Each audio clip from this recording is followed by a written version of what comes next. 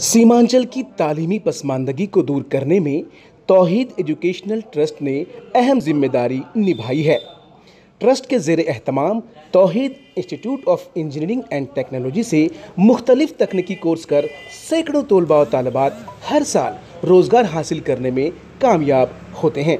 Tauheed institute of engineering technology जो एक ITI है इस आईटीआई में छः ट्रेड की तालीम दी जाती है प्रशिक्षण दी जाती है।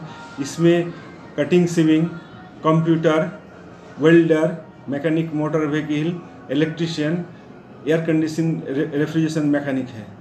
ज़िया साहब एक चीज़ जो मुझे आपसे जाननी है और वो ये है कि सीमांचल की अगर हम बात करें तो तालीमी एतबार से हम लोग बहुत ज़्यादा पिछड़े हैं। ऐसे में आपका जो ये इदारा है क्या आप जो लोग पसमानदा हैं बहुत ज़्यादा। क्या उनको फोकस करते हैं? क्या उनके तालीम पर आप लोग आप लोग की नज़र रहती है? क्या करते हैं उनके लिए? ज़रा बताइए, क्या कुछ करते हैं? बिल्कुल, हमारा हमारा इस क्षेत्र में आईटीआई एक बहुत बड़ा टेक्निकली जो बैकवर्ड एरिया था, इस एरिया में तोहिद ट्रस्ट के चेयरमैन ने इस आईटीआई को इस्टेब्लिश करके यहाँ के लोगों को वो टेक्निकली बहुत आगे बढ़ाया और हज़ारों लड़के आज देश में, विदेश में काम कर रहे हैं, जो कि बहुत बड़ी एक उपलब्धि है। और आज हम स्पेशली जो एस सी एस टी को, जात को हम बहुत प्रिवलेज देते हैं, इसको हमारे चेयरमैन का फ़ीस माफ़ करते हैं और इसको आगे बढ़ाने के लिए बहुत अच्छा कोशिश कर रहे हैं।